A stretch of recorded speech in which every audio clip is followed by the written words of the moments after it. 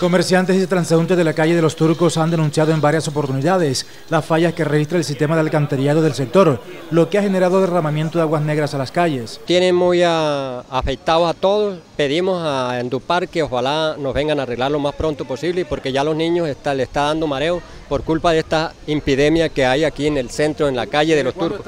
La situación afecta por igual a comerciantes y compradores, por lo que hicieron el llamado a Endupar para que atienda esta problemática. Sí, eso todos los días aquí el olor no se la gente sale, se va, la gente no quiere llegar aquí al centro.